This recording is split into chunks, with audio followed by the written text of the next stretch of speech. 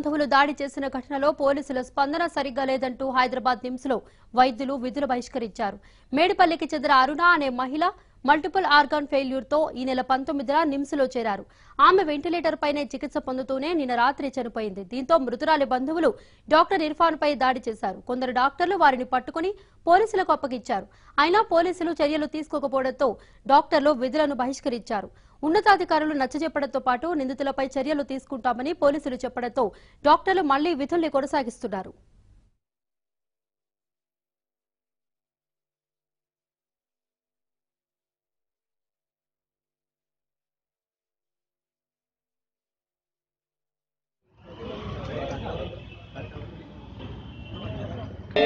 आवाज दो